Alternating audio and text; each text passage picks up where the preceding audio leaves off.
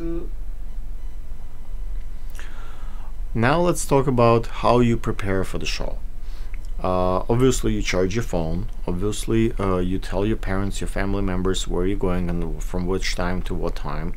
Uh, during the show, it's better to have maybe a friend or someone, family members who can hold your cell phone or your purse with you. Because guess what? We have my wife holds the like while the models on the runway.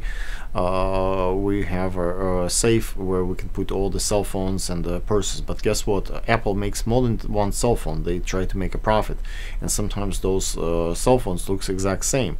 You don't want to work with someone else's phone, and someone else doesn't want to work uh, home with your phone.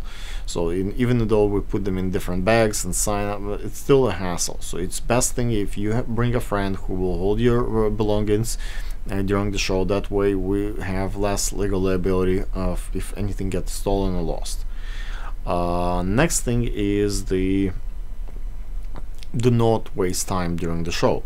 So if you come at 5 o'clock, grab a accredited photographer and start taking pictures. Go to a location and get a couple of pictures, get some uh, a couple of looks, go back, change to another dress, another look, get another photographer, go to another location, get some more pictures. Do not sit on your phone and uh, like uh, uh, waste time. Try to mingle with folks, try to get contacts, try to uh, collaborate.